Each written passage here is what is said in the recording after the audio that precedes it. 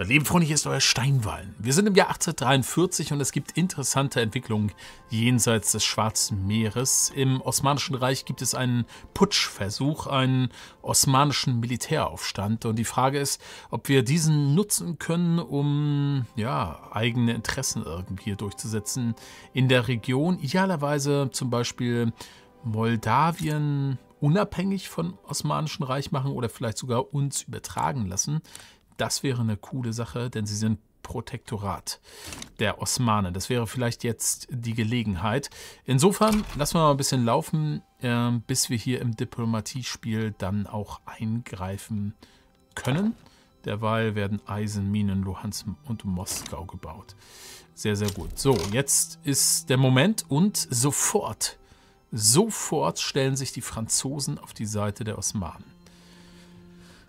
Okay, das ist natürlich... Wurde auch beeinflusst, ja genau. Ähm, das ist natürlich ungünstig, weil die Franzosen eigentlich gerne mit denen uns gut verstehen wollen. Na, wir schauen mal, was hier denn überhaupt möglich ist. Halt, wir gucken mal hier rein. Und gucken mal. Also auf der osmanischen Seite können wir nichts anbieten. Und hier sehe ich gerade, ach, ach, das ist ja schade. Okay, wir können nur eine Verpflichtung erlangen. Und das Übertragen von Staaten geht nicht, weil ganz offensichtlich... Ah, das finde ich ein bisschen schade spielmechanisch. Skopje, Mazedonien? Obwohl... Hm, wartet mal. Nee, tatsächlich. Sie können offenbar nur Dinge uns versprechen, die sie selber besitzen. Das finde ich deshalb ein bisschen schade, weil bei einem normalen Krieg ist es ja so, also bei so einer normalen Konfliktsituation, dass man logischerweise dem anderen etwas vom Feind verspricht. Ne? Das scheint hier nicht der Fall zu sein. Also offenbar kann der osmanische Militäraufstand uns nichts vom Osmanischen Reich versprechen. Das ist wirklich schade, weil das wäre ja durchaus realistisch. Nach dem Motto, ihr helft uns hier gegen die Osmanen und dafür bekommt ihr, keine Ahnung, eben Moldawien oder die Walachei oder sowas alles. Ähm, ja, schade. So würde ich sagen, lohnt sich das nicht für eine reine, äh, für ein reines Gefallen. Da lohnt sich hier kein Krieg und dann auch noch gegen Frankreich. Nein, Leider müssen wir davon Abstand nehmen und auch auf osmanischer Seite gibt es, wie man sieht, nichts, was sie uns anbieten würden. Okay, also das war leider etwas zu früh gefreut. Nun gut. Dann kümmern wir uns um unsere eigenen Angelegenheiten und schwinden Interessen schon wieder. Nordafrika, Nil. Aber warum eigentlich? Warum schwindet das immer wieder und während ich eigentlich ja das Potenzial dazu habe. Mit 21 von 23. Ich verstehe es nicht. Wir bekunden erneut das Interesse, aber bleiben etwas ratlos zurück. Okay, gucken wir nochmal äh, ökonomisch. Da gibt es einiges, was wir erledigen müssen. Als erstes habe ich mir nochmal angeschaut, was in den neu angeschlossenen Gebieten passiert. Und da habe ich gesehen, da wird doch in Größenordnung Artillerie hergestellt. Also es gibt Fabriken hier. Und das ist eigentlich unschön. Das wollen wir eigentlich gar nicht haben. Ähm, weil wir wollen die ja hier konzentrieren in Luhansk. Die sind auch nicht, die sind auch überhaupt nicht, ja, wettbewerbsfähig so richtig. Naja, so halb, aber hier wird nicht viel produziert. Wir nehmen, setzen die zurück. Und hier wird gar nichts produziert, die wird auch zurückgesetzt. Sodass wir jetzt eigentlich nur in Luhansk haben. Blöderweise ist Bukhara jetzt in unserem Markt, klar, ist unser Protektorat und die produzieren ziemlich viele Kanonen, was hier so ein bisschen den Preis äh, durcheinander bringt. Aber das Ganze sollte jetzt lukrativer werden und wenn wir hier selber Eisen produzieren, wird das Ganze auch noch besser. So, dann haben wir hier angefangen, hier Stahlwerke aufzubauen. Das bedeutet, wir müssen aber auch erstmal eine Nachfrage für Stahl schaffen. Deswegen schalten wir um auf Stahlwerkzeuge. Dann sollte die Produktion jetzt hier aber anlaufen. Und ich will weiterhin, weil es dort am lukrativsten ist, in Kiew nochmal die Regierungsverwaltung ausbauen. Und die Frage ist, Papier könnte man hier auf, ach nee, wir sind schon so viel Blei, dann baue das auch nochmal aus. Das ist schon okay. Und vielleicht sollten wir dann mal gucken. Aber wir können hier auch umbauen. Dann gehen wir mal hier auf die atmosphärische Dampfmaschine. Warum ist jetzt Stahlknappheit? Ja gut, das wird sich gleich erledigen. Okay, das sind die ersten ökonomischen Entscheidungen. Ich werde mich jetzt tatsächlich vor allem, also die neue Strategie ist, ah, wir gucken erstmal, Massenkommunikation ist freigeschaltet, plus 10% Autorität, jetzt sind wir sogar wieder bei über 100. Und im Übrigen auch Bürokratie ist wieder im positiven Bereich, zum Glück. So, jetzt war unser eigentliches Ziel Nationalismus, weil wir dann Richtung China agieren können. Aber es gibt natürlich ein zweites sehr attraktives Ziel, gerade im gesellschaftlichen Bereich, und das ist das Zentralarchive. Das erhöht enorm die Besteuerungskapazität. Das würde uns auf einen Schlag ziemlich viel Geld bringen. Hm. Andererseits, das Problem ist, es dauert halt fünf Jahre. Das ist echt eine lange Zeit. Hilft uns nicht was anderes vorher besser weiter? Was ist denn Börsenplätze? Oh, oh. Marktzugriff, Preisveränderung.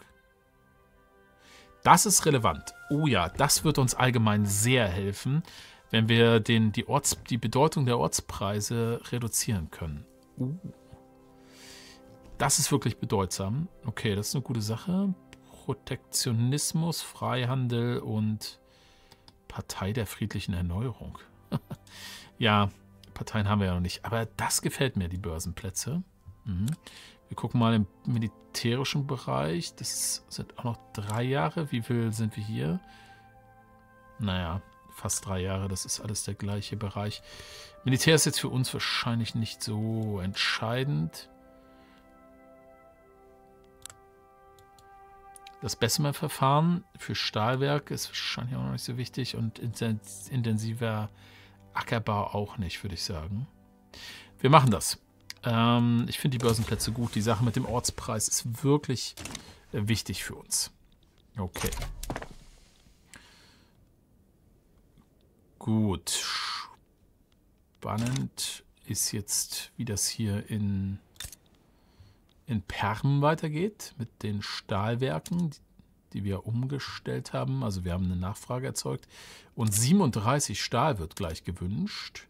Da müsste jetzt aber eigentlich die Beschäftigung richtig gut ansteigen, weil sowohl Kohle als auch Eisen sollte relativ günstig da sein. Dann schauen wir mal, wie sich das entwickelt. Ja, Es kommt langsam. Es wird langsam kommen, da bin ich optimistisch. Im Übrigen hier, Thema Glaubensfreiheit. Ähm, okay, hier ist Embargo. Äh, Thema Glaubensfreiheit. Die Sache brauchen wir vielleicht doch noch nicht so schnell aufgeben. Denn ich habe gesehen, das kann man relativ schnell wieder versuchen. In acht Monaten. Und wir würden mit einer 38% Chance starten. Das ist schon interessant, weil jetzt von Anfang an dann auch hier Jewgeni mit dabei wäre. So, was ist hier passiert? Äh, Texas kolonisiert. Und es gibt einen Comanchen-Aufstand in Mexiko. Okay. Und in Italien ist was los, oder? Nee, Quatsch, das... Oh Gott, peinlich. Richtig peinlich. Äh, das ist der Comanchen-Aufstand.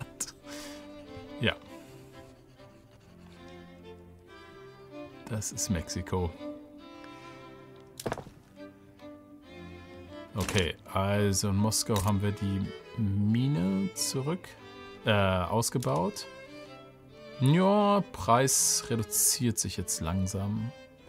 34 Prozent, das ist doch in Ordnung. Wir haben hier sehr, sehr viele Werkzeugfabriken. Eigentlich müssten wir hier auch Stahlproduktion starten, ne? Kohle mhm. Müsste ausgebaut werden. Und die große Molasseflut. Ein Lagertank, der bis zum Anschlag voller Molasse für die Rumproduktion war. Wo stellen wir denn bitte Rum her? Ist geplatzt und hat die Straßen im Industriegebiet von Karagandi. Okay. In unsere neu eroberten Gebiete oder eingegliederten Überschwemmt, Dutzende Menschen getötet und Hunderte von Unbeteiligten verletzt. So, wir können das Ganze schließen. Ja, das ist, glaube ich, ziemlich unwichtig. Die kriegt einen reduzierten Durchsatz, aber die wird, das wird für uns jetzt nicht von riesiger Bedeutung sein. Da bin ich mir recht sicher. Okay.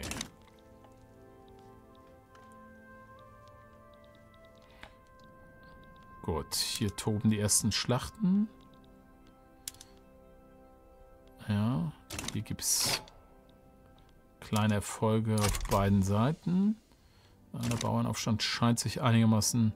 War das nicht zuerst ein Militäraufstand? Warum ist es jetzt ein Bauernaufstand? Ja, wahrscheinlich, weil die Landbewohner mächtiger geworden sind als die Streitkräfte.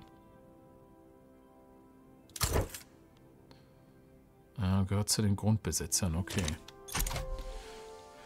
Wobei ein Grundbesitzer, der, den würde ich jetzt auch nicht als normalen Bauern bezeichnen. Bauernaufstand, da stelle ich mir was anderes vor, aber gut. Wir stecken nicht drin.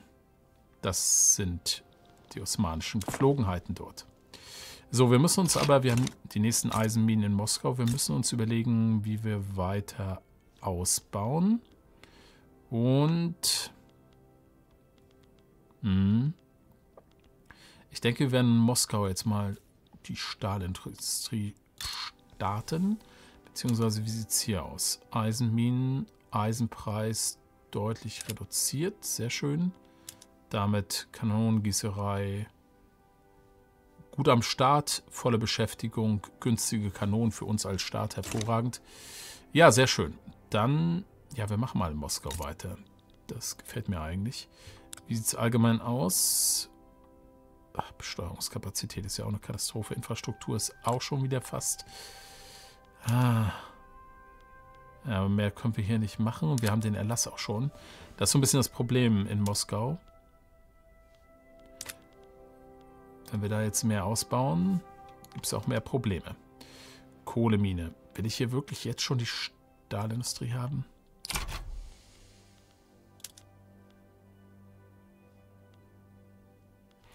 Kohle ist auf jeden Fall ein großes Thema. Machen wir mal doppelt. Okay, da gibt es einen Frieden. Vermutlich einen Siegfrieden in den Vereinigten Staaten.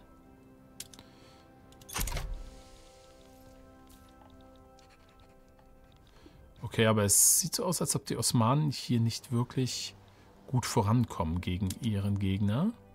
Die Franzosen sind aber jetzt auch schon da. Die sind dort erfolgreicher. Wahrscheinlich auch technologisch stärker aufgestellt. Viel besetzen können sie vermutlich nicht. Und es geht gleich richtig zur Sache. Der nächste Konflikt bricht aus.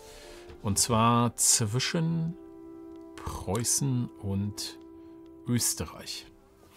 Es geht um die deutsche Führung im Einigungsprozess. Und sie wollen Tirol und Südtirol erobern. Haben eine Menge Kleinstaaten hinter sich und Österreich sehr wenig. Hm, ist das für uns eine Gelegenheit?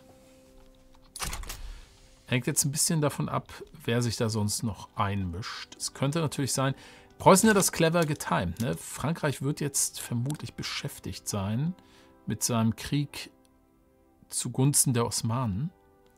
Und es könnte sein, dass sie sich nicht in Preußen einmischen. Gut möglich. So, ich glaube, im Juli können wir den nächsten Versuch mit der Glaubensfreiheit starten. So, Österreich hat Preußen ein Embargo belegt. Bisher mischt sich niemand ein und Preußen versucht uns jetzt zu beeinflussen. Ja, das ist jetzt ein spannender Punkt. Was bieten sie uns dann an? Ah, okay, jetzt kommt die Verpflichtung.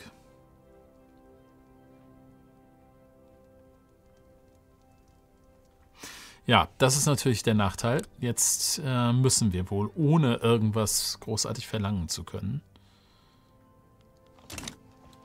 Okay, sie fordern eine Verpflichtung, ein, eine Ablehnung, stark verminderte Beziehung, wollen wir eigentlich nicht. Verminderte Beziehung zu allen anderen Ländern, denen wir eine Verpflichtung schulden, gibt es nicht. Vermindertes Prestige ist auch schlecht. Langsameres Abklingen von Verrufenheit, das ist sehr schlecht. und weit verbreitetes Misstrauen gegenüber neuen Verpflichtungen von uns für einen Zeitraum von fünf Jahren. Nee, das können wir nicht in Kauf nehmen. Wir müssen jetzt, wir müssen jetzt hier rein. Preußen zieht uns jetzt in diesen quasi ersten Reichseinigungskrieg. Okay, ich meinte, wir können das... Ah, übrigens, die Osmanen sind jetzt doch deutlich erfolgreicher. Wir können das versuchen... Ja, wir gucken mal, was die Österreicher uns da entgegenstellen. Ich will da jetzt auch nicht einen riesen Aufwand machen. Ne? Das kostet ja alles Geld. Aber wir nehmen an. Hilft nichts. Wir nehmen an und sind auf preußischer Seite gegen Österreich dabei. An dieser ganz langen Front auch noch. Das heißt, wir können uns hier, glaube ich, nicht auf ein bestimmtes Frontstück zurückziehen. Okay. Hm. Wir könnten sagen, dass wir einfach nur defensiv stehen. Das wäre eine Möglichkeit.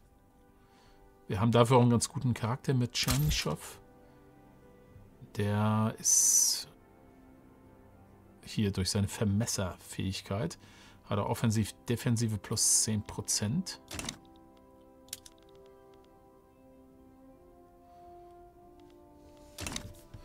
Ich würde sagen, wir warten mal ab. Das hier ist unsere Front. Okay, die würde bis dort gehen. Wir warten mal ab, wie sich das Ganze entwickelt.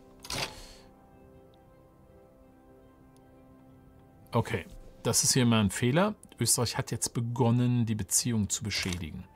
Ja, damit ist das jetzt quasi entschieden. Österreich wird vermutlich für längere Zeit unser Feind sein.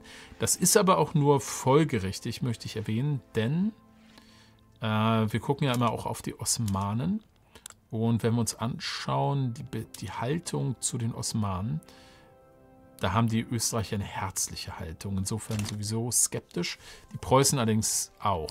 Aber vielleicht ändert sich ja jetzt das durch diesen Konflikt. Also wir warten auf jeden Fall noch mal ein bisschen ab, bevor wir mobilisieren. Ich bin mal gespannt, ob noch jemand auf der anderen Seite reingeht. Weil wenn nicht, dann wird das doch leichtes Spiel, würde ich sagen. Für Preußen. Wir werden minimal Druck machen. Verteidigungspakt mit Moldawien gebrochen. Ach, schade. Ist bei denen irgendwas passiert? Sind immer noch Protektorat.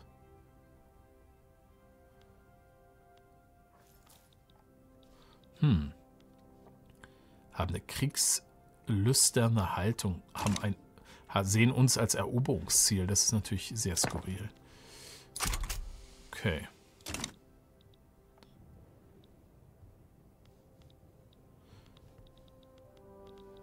Französische Streben. Frankreich verkündet, das ist die eigenen natürlichen Grenzen. Ja, okay. Frankreich ganz schön aggressiv. Die Osmanen werden vermutlich da unten sehr schnell gewonnen haben. So, und hier kommen die Preußen. Ist das die einzige Front dieses Krieges? Es sieht ganz so aus. Ne, beziehungsweise hier gibt es noch weitere Fronten. Naja, hier haben wir noch eine Front. Äh, die werden wir aber nicht bedienen. Tja, der Moment ist gekommen. Wir müssen Geld ausgeben, wir müssen mobilisieren. Ich denke, die erste Armee. Also wenn wir die Offensive gehen wollen, ist die zweite Armee die bessere. Ist die Frage, ob wir das wirklich wollen. Oder ob wir nicht einfach defensiv stehen wollen und die Preußen die Arbeit...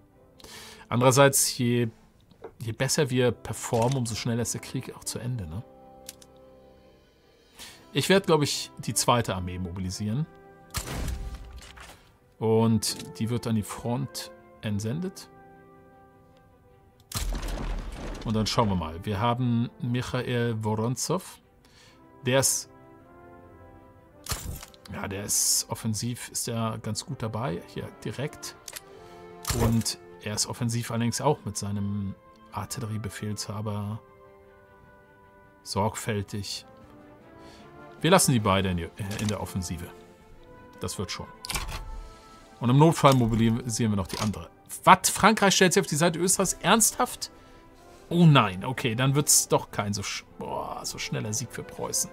Das ist natürlich bitter. Das könnte bedeuten, dass Preußen ach, wurde beeinflusst, ja.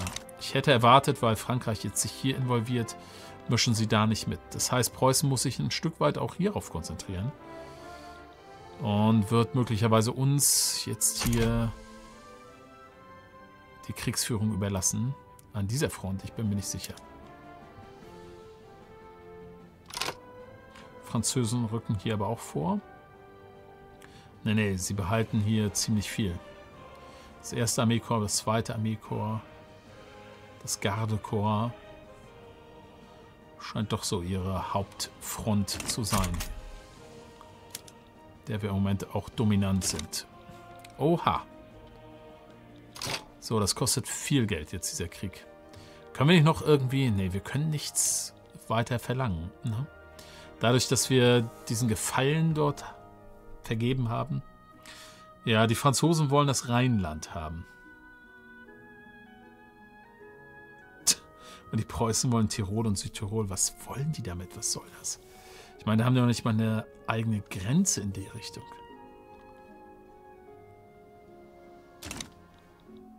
Bemerkenswert.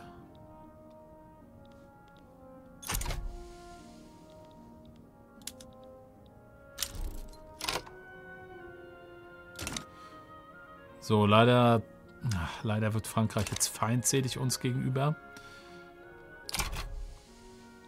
Für diese Anti-Großbritannien-Koalition ist das alles eine sehr schlechte Entwicklung.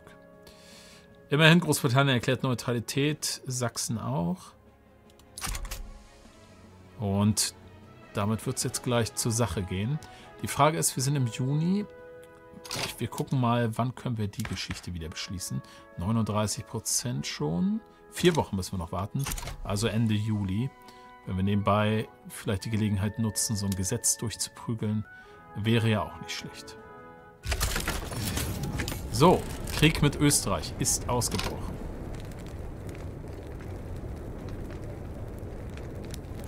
zu den Waffen. Okay, also an dieser Front sind wir zumindest zahlenmäßig, kräftemäßig überlegen. Aber nein, was ist denn hier? Keine Armeen vor Ort, aber auf beiden Seiten keine Armeen, ist ja auch verrückt. Und hier sind die Österreicher überlegen an der Front. Findet sogar schon eine aktive Schlacht statt. Den aber tatsächlich die Franzosen verlieren, weil die Defensive hier sehr, sehr gut ist. Okay, es geht zur Sache. Wir verfolgen jetzt vor allem unsere Front. Unsere Seite ist offenbar auch die einzige, die hier im Vormarsch ist. Und wir sind auch die Ersten, die angreifen. Und tatsächlich kämpfen wir gegen die Franzosen, die mit einer sehr starken Defensive hier stehen. Boah, unsere Offensive ist nicht so dolle. Außerdem haben wir schlechte Sicht. Okay, die Schlacht geht schon mal verloren. Da gibt es eine Kolonie. Aber es gibt, gleich, es gibt ja jetzt Schlachten gleichzeitig an einer Front. Sehr spannend. Auch hier Russland gegen Österreich. Auch hier die Defensive des Gegners zu stark für uns. Tja, liebe Leute, vielleicht es, wäre es doch besser, wenn wir den Preußen die Offensive überlassen. Immerhin, wir haben das Bankwesen freigeschaltet und diese 10% Gelddruck, die scheinen auszureichen, um uns im Krieg äh, mitten ins Positive zu bringen. Wahnsinn. Hervorragend. Was ist hier los? Ja, Handelsroute ist jetzt im Moment nicht aktiv. Und verwundbare Front? Ja, also das ist, das ist mir auch nicht erklärlich. Ich hoffe, die, ich meine 33 Tage, die Afrika-Armee der Franzosen. Ich hoffe, die Preußen besetzen jetzt diese Front. Alles andere wäre wirklich fatal. Aber wir sehen, dass noch nicht mal eine Armee unterwegs ist. Das ist wirklich fatal. Okay, Leute, ich würde sagen, ja, beide unsere... Ne, passt auf. Wir werden das jetzt verändern. Wir sagen, wir verteidigen diese Front. Vielleicht haben die Preußen bessere Offensivkräfte überhaupt. Schweres Sperrfeuer. Mhm.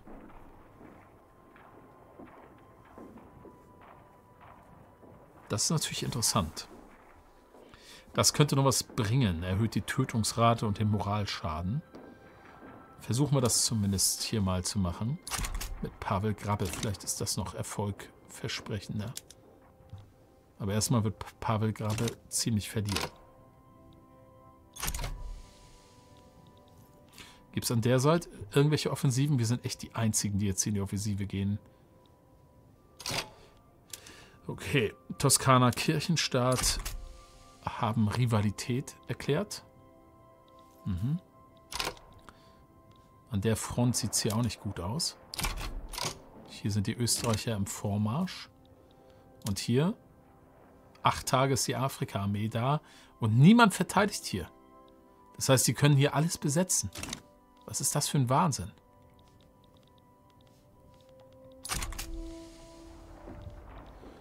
Was ist das für ein Wahnsinn? Ja, preußische Truppen sind da. Da sind französische Truppen. Da ist eine große österreichische Armee. Ja, die Schlacht ging verloren. Dementsprechend jetzt auch unsere Moral ziemlich gering. So, wer ist hier gestorben? Michael Speranski. Zu welcher... Ah, jetzt ist das weggegangen. Zu welcher Interessensgruppe gehörte er? Die Nachricht ist weg. Ich würde es gerne erfahren. Hm, ich habe das natürlich jetzt nicht in Erinnerung. Wir gucken mal. Das sind, glaube ich, die gleichen geblieben. Benkendorf, der kommt mir auch bekannt. Friedrich von Berg. War das schon immer oder ist der neu? Bin ich mir nicht sicher. Und Alexei Bobrinski, den haben wir noch nicht kennengelernt. Okay, er ist General. Sorgfältig, politische Stärke, das ist nicht schlecht. So, jetzt müsste es aber soweit sein, dass wir nochmal versuchen können, die Glaubensfreiheit durchzubringen. Und mit 39 Prozent sieht das doch deutlich besser aus. So, das heißt aber, der Landadel ist erstmal wieder sauer. Ebenso wie die orthodoxe Kirche, wohingegen die Intellektuellen einigermaßen zufrieden mit uns sind. Das ist doch schön. So, geht es jetzt an dieser Front überhaupt voran? Vormarschzuwachs für die russische Seite, aber... Ach so, ja, natürlich. Das ist wieder unser Artillerist. Warum machen die Preußen nichts? So, wo haben wir jetzt hier eine Schlacht? Das ist jetzt Grabbe. Aber erneut der Gegner mit einer zu starken Defensive. Zumal er sich jetzt auch noch verirrt hat. Ja gut, das kann ja nichts werden. Und es gibt wieder die Protestbewegung. Okay. Gott sei Dank die Radikalität nicht so hoch. Verirrt. Gesicherte Logistik ändert leider nichts an dem Schlachtverlauf. Und jetzt ändere ich die Strategie. Wir gehen jetzt auch mit ihm auf Frontverteidigung. Das bringt doch hier nichts. Wenn die Preußen selbst nicht vorangehen, werden wir nicht für sie kämpfen, würde ich sagen.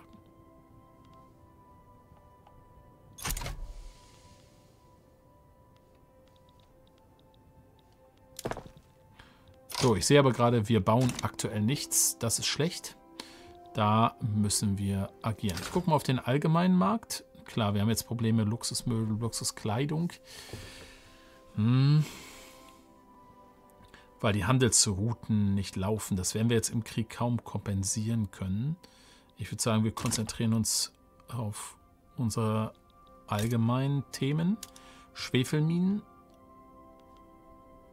Ne, da können wir kaum was machen. Alles gut. An dem Preis können wir nichts großartig verändern.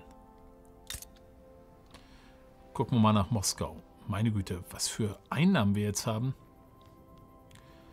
Bürokratie ist jetzt auch sehr stark zurückgeflossen. Wir können auch wieder überlegen, ob wir Staaten hier inkorporieren. Weiter. Ich denke, wir machen das mal. Behalten aber ein bisschen Bürokratie über. Wir starten hier mal mit Lettland und 1,2 Millionen und Tomsk ebenso. Das dauert auch nur zwei Jahre, ist insofern sogar noch wichtiger. Gut. So, aber was bauen wir? Wir gucken mal unsere üblichen Verdächtigen an. Moskau. Kohlemine Moskau läuft. Das ist gut ausgeglichen.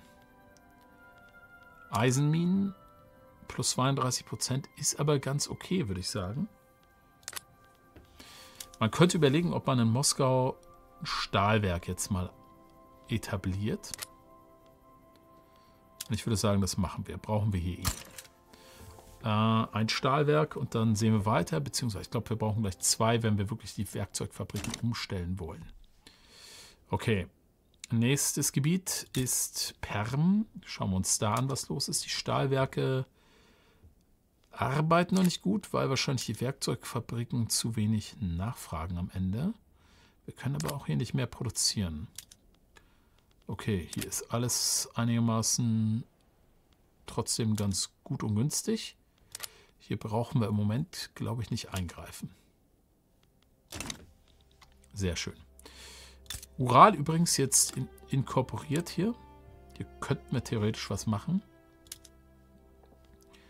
Aber brauchen wir im Moment, glaube ich, auch nicht.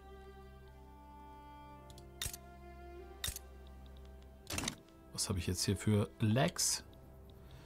Machen wir mal weiter in, in Luhansk. Auch noch ein wichtiger Bereich. Hier haben wir unsere Kanonengießereien. Das läuft preislich auch sehr gut. Im Moment haben wir das ganz gut hier alles ausgeglichen, wie mir scheint. Das gefällt mir, außer natürlich, dass hier Werkzeuge zu teuer sind. Eigentlich brauchen wir hier ebenso eine Werkzeugproduktion. Die werden wir hier auch aufbauen. Das ist ja auch ein Cluster. Und dementsprechend werden wir dann auch Eisenminen und wir werden hier Holz benötigen. Okay. Gut. Moskau hatten wir schon gecheckt. Kiew. Kiew ist ja eigentlich äh, wichtig für die Lebensmittelproduktion. Äh, der Lebensmittelpreis mh, hm, staatsweit ist relativ günstig, glaube ich. Plus 20 Prozent, naja. Können wir auch was machen. Aber ich sehe gerade, hier gibt es Infrastrukturprobleme. Da könnte man was verändern über Gaslaternen. Hier wird zwar keine Kohle gefördert, machen wir aber trotzdem. Und ich glaube, wir bauen hier noch eine Lebensmittelfabrik aus. So, und dann haben wir hier St. Petersburg. Mit den Papierfabriken. Immer noch relativ teuer, weil Schwefel ja auch relativ teuer ist. Ich würde sagen, wir bauen aber trotzdem aus. Okay, Gut, das waren die wichtigsten Staaten, die wir jetzt eigentlich weiterentwickeln wollen. Hier oben in Tver gibt es auch eine Kunsthochschule. Die ist aber privat gegründet, oder? Wahrscheinlich, weil das Papier hier so günstig ist. Ja, eine clevere Gründung. Kann ich gut nachvollziehen. Wir könnten überlegen, ob wir, ob wir Kunstwerke beziehungsweise das können wir eigentlich auch abschaffen, ne? Aber ob wir vielleicht die Luxusmöbel von woanders importieren, bin ich sicher. So, Württemberg hat schon mal direkt kapituliert. Da sind die Österreicher durchgedrungen. Und es ist tatsächlich so, dass die Preußen nicht in der Offensive sind. Ich verstehe es nicht. Die haben dort komplett ihren Verteidigungsbefehl gesetzt. Wie wollen die denn diesen... Wie wollen die denn diesen Krieg gewinnen? Es gibt einen toskanischen Bauernaufstand. Also das bleibt völlig unklar. Leider gibt es bürokratische Verwicklung. Diejenigen, die auf der Durchsetzung eines neuen Gesetzes hinarbeiten, auf die, mussten feststellen, dass sie in einem besonders komplexen Ablauf bürokratischer Vorgänge stecken. Die Arbeit hin zu der Reform ist damit nahezu vollständig zum Stillstand gekommen. So, verdammt sei dieses verworrene Rechtssystem. Ah, minus 10% wieder. Oder lasst uns wenigstens ein bisschen was von diesem ganzen Papierkram beschneiden. Erhöht Bürokratie. Also reduziert Bürokratie, das ist nicht gut. Radikalität will ich auch nicht weiter forcieren. Ja, müssen wir leider mit leben. Ärgerlich. 28% ist das Ganze runtergegangen. Schade drum.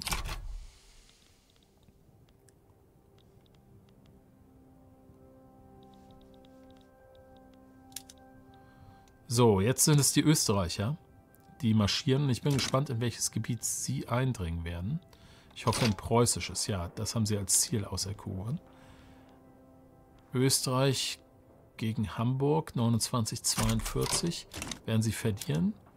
Und hier, oh, wir sind tatsächlich mit Woronzow hier schon in der Verteidigung. Und die wiederum, die erledigen wir ganz gut. Habe ich gar nicht mitbekommen. Hervorragend. Hier ist uns ein defensiver Sieg gelungen. Aber ob das hilft in diesem Kriegsverlauf, sieht im Moment ehrlich gesagt nicht so aus. Zumal die Franzosen hier leider einfach durchmarschieren können. Und das ist wirklich ärgerlich. Ich meine, jetzt kommt hier eine kleine Armee oder ist da. Aber dass sie hier immer noch nicht ihre Flanken schützen können, das ist wirklich bitter. Das dürfte nicht sein. Wenn die Franzosen in den Krieg eintreten, dann müssen sie einfach hier Armeen hinstellen. Dass das nicht passiert, schade drum. Nun gut. Äh, wir beenden erstmal diese Folge und wir sehen uns wieder in der nächsten. Bis dahin macht's gut. Euer Steinwall.